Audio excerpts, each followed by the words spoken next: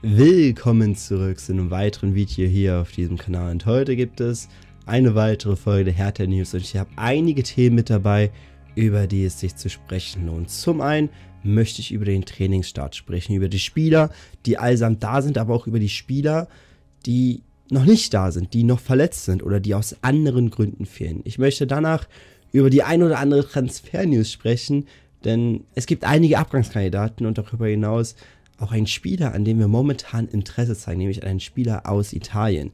Und danach möchte ich nochmal über die aktuelle Ticketsituation sprechen, denn Hertha BSC hat ab heute den Mitgliederverkauf für die ersten beiden Saisonheimspiele im Pokal und in der Liga ermöglicht und die Tickets für das Pokalspiel in Kaiserslautern, die gehen trotz Mitgliederverkauf richtig flott weg.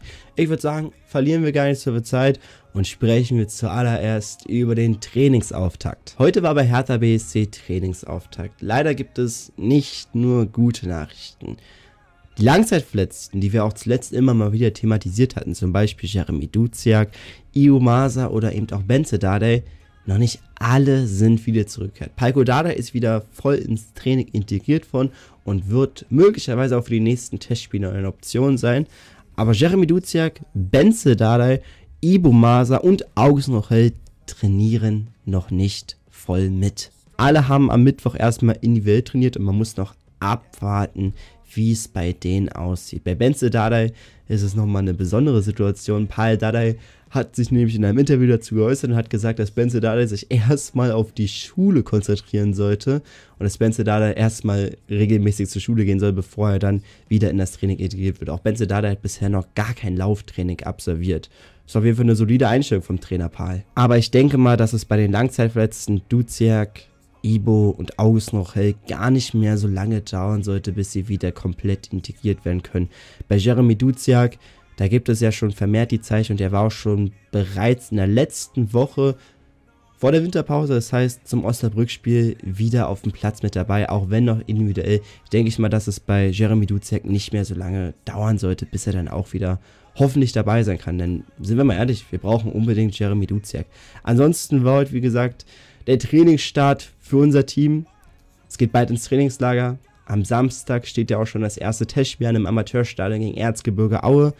Ich bin gespannt, wie diese Rückrunde läuft, aber für eine gute Rückrunde brauchen wir auch offensiv mehr Kreativität und daher hoffe ich, dass auch die übrigen Verletzten, Duziak, Benze, Ibo, so schnell wie möglich fit werden. Ja, ein anderer Spieler, der bisher immer noch fehlt, ist Fabian Reese. Fabian Reese fehlte ja zum, bereits zum Osnabrück-Spiel aufgrund eines Infektes und er hat sich von diesem Infekt immer noch nicht hundertprozentig erholt.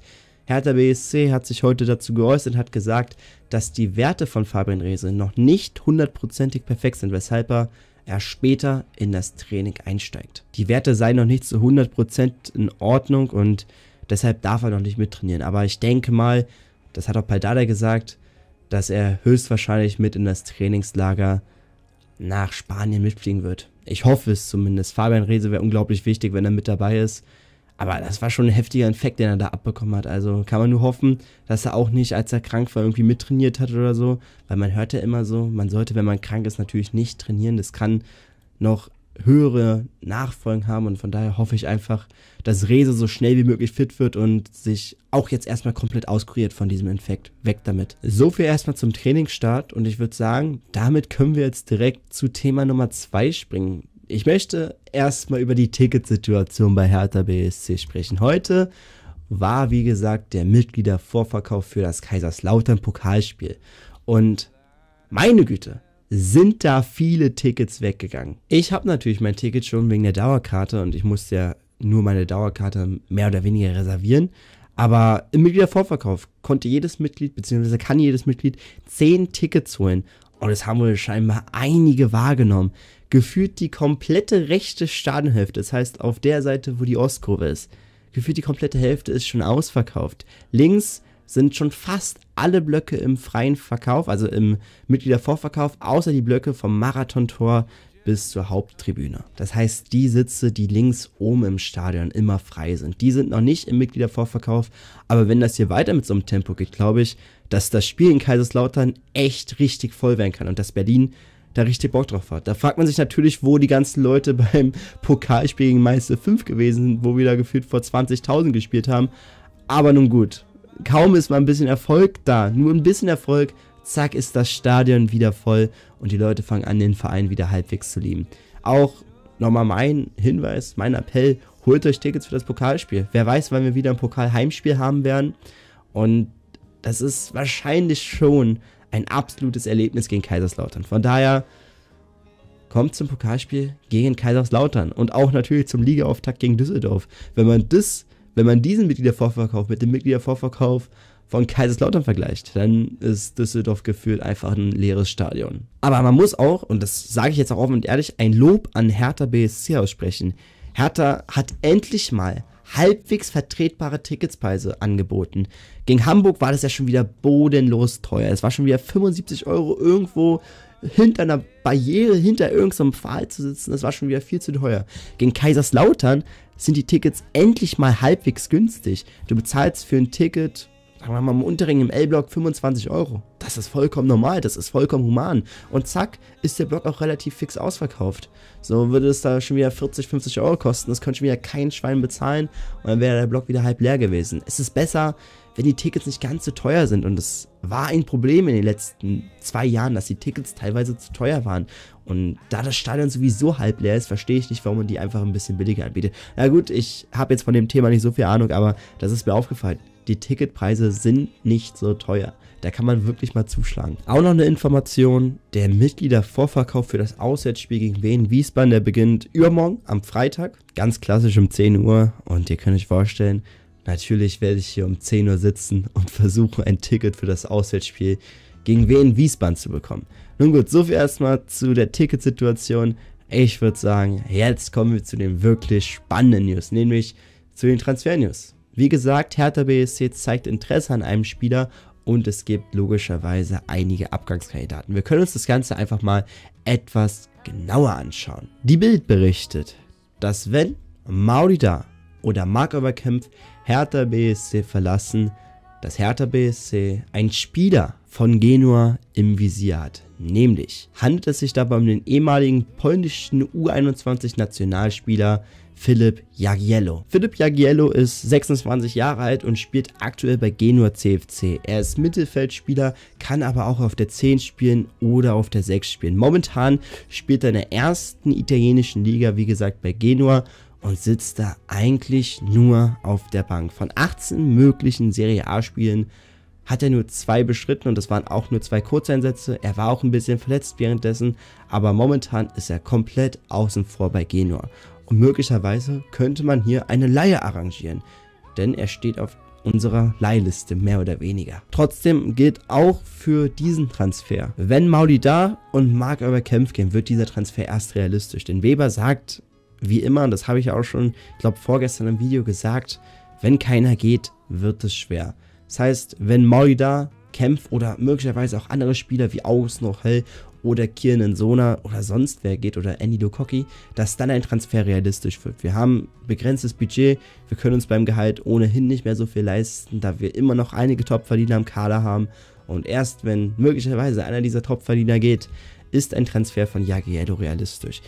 Ich habe natürlich wieder mal Scouting betrieben. Ich habe mich schon wieder mal umgeschaut, habe mir einige YouTube-Videos zusammengeschaut und habe mal da ein bisschen was zusammengestellt. Und ich habe mir jetzt so einen kleinen Scouting-Report auch rausgesucht und ich werde euch mal auch so ein bisschen Jagiello jetzt vorstellen. Letzte Saison war er noch in der zweiten italienischen Liga für Genua unterwegs. Er hat in 34 Partien auf dem Platz gestanden, hat in der zweiten italienischen Liga dementsprechend auch vier Tore erzielt, zwei Vorlagen erzielt und war auch ein wichtiger Spieler, der mit den Aufstieg mit Genua gestaltet hat. In dieser Saison hakt es wie gesagt noch ein bisschen und Jagiello ist trotzdem ein wirklich interessanter Spieler. Ein Spieler, der offensiv und defensiv überzeugen kann.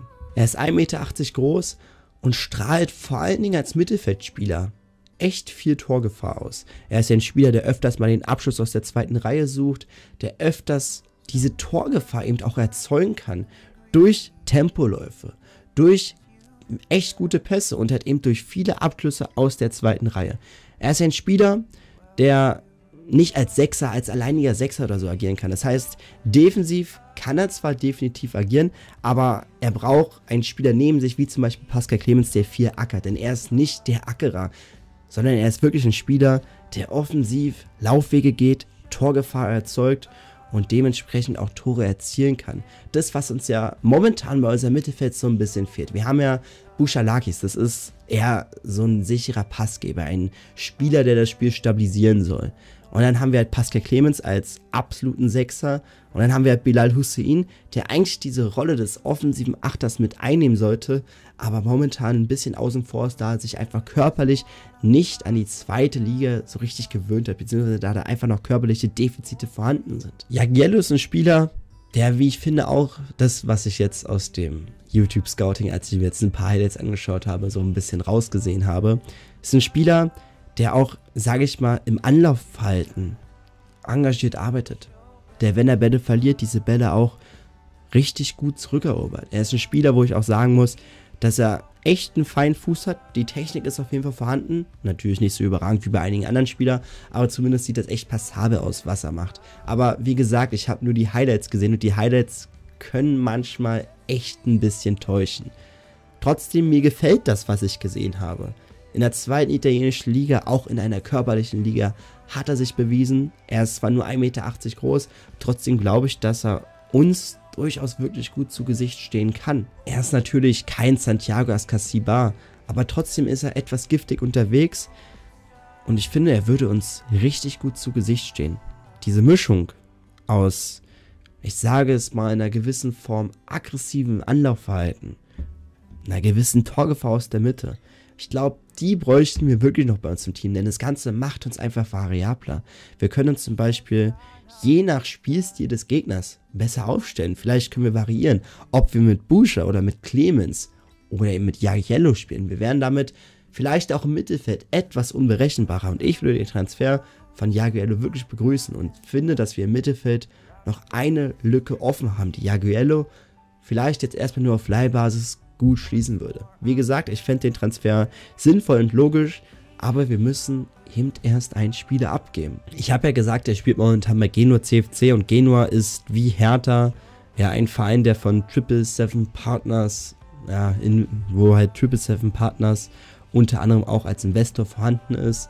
Und möglicherweise erleichtert das eben die Kontakte. Benjamin Weber hat gesagt, in der Regel tauscht man sich aus mit den anderen Sportdirektoren der anderen Vereine und möglicherweise wird das einiges erleichtern. Genua profitiert, wir profitieren und der Spieler würde auch profitieren, da er eben endlich Spielpraxis bekommt, die er momentan in der ersten italienischen Liga bei Genua nicht bekommt. Er ist Pole und Polen ist eben, ja, sage ich mal, näher an Deutschland als an Italien. Möglicherweise wäre das auch nochmal ein Grund und ich finde, dieser Transfer wäre für alle Seiten eine sinnvolle und schlaue Maßnahme. Laut der Bild beschäftigen wir uns bereits seit Wochen mit Jagiello und von daher bin ich gespannt, ob daraus etwas wird. Aber wie gesagt, das Ganze hängt von den Abgängern. Ich würde es begrüßen.